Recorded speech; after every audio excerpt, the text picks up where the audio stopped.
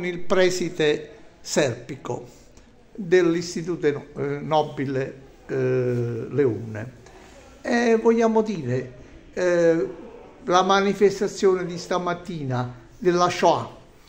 Nell'aula magna questa mattina, grazie al coordinamento dell'ufficio diocesano scuola di Nola, sì. c'è stata una manifestazione che ha coinvolto diverse classi delle quattro scuole superiori nolane, Albertini, Carducci, Masulloteti e noi. Sì.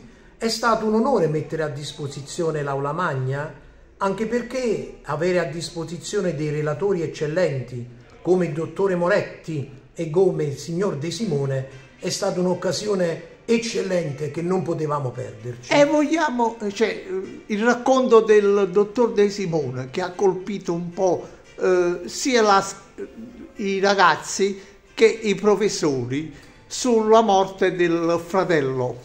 Purtroppo il fratello del signor Di Simone è rimasto vittima di quegli esperimenti tragici, sconsiderati, che sono stati fatti nei campi di concentramento. Sì. Il piccolo d'inganno venne richiamato alla speranza di poter rivedere la propria mamma e fu per questo che alzò la mano e fu avvicinato e raccolto, preso dalle truppe naziste, che però non fecero vedere a lui la mamma, né la sua famiglia, né i suoi effetti ed affetti, ma anzi fu sottoposto ad indicibili, chiamiamoli sperimenti, ma sono delle torture che lo portarono a finire la sua esistenza nel campo di concentramento.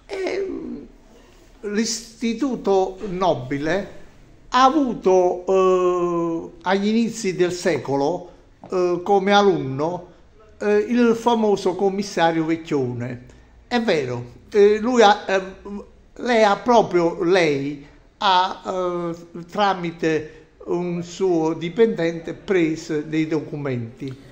Noi nell'archivio storico abbiamo trovato dei registri dell'allora Istituto Professionale per l'Avviamento ai Mestieri che risalgono al 1928. Eh. In questi documenti il dottore Vecchione, poi ispettore di polizia, poi giusto così definito dagli ebrei, fu nostro ospite ed è diventato un eroe che attraverso il suo potere giudiziario ha coperto, aiutato ed estradato fuori dell'Italia centinaia di ebrei, un giusto fra i giusti, mi ripeto.